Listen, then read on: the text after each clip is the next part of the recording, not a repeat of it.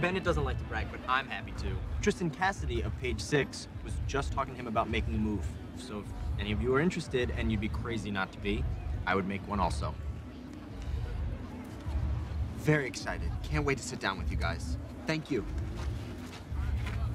Wow, look at you, Bennet. Working it. It wasn't me, it was Walt. He was amazing.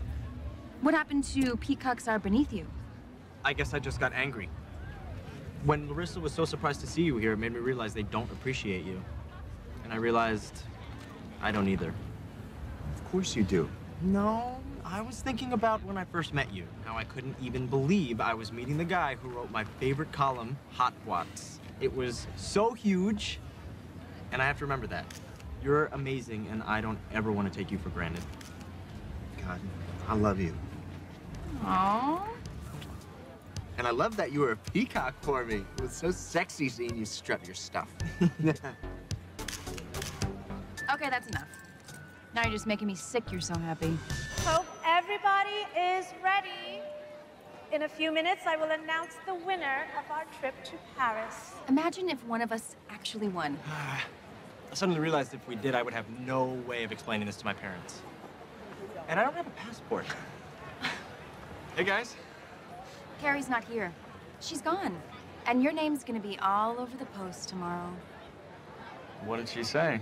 well, let's just say you might see the word diminutive again, but this time in reference to you and one of your body parts.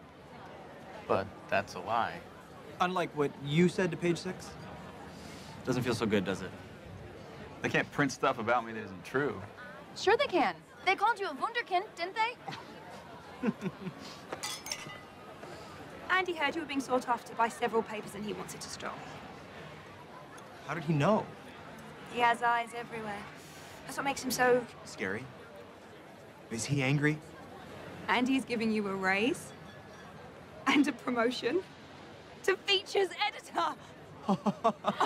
Oh my god. this is the best night of my life. Quiet down, everyone. Quiet down.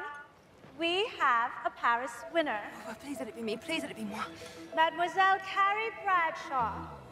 Grab your chapeau and head to your waiting limo. You are leaving for Paris. Anon. She isn't here. Why isn't she here? Carrie Bradshaw, Samantha, you should go. We're all here because of you. Really? where are you, darling? Carrie Bradshaw. She's right here. Here she is. I'm Carrie! Carrie Bradshaw!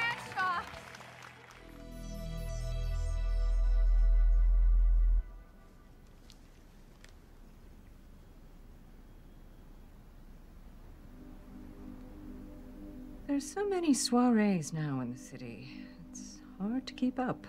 I know. Every week, a different charity event. You wrote about one last night where someone won a trip to Paris. Isn't that gauche? These events should be to give back, not to take. See what you mean. Do you?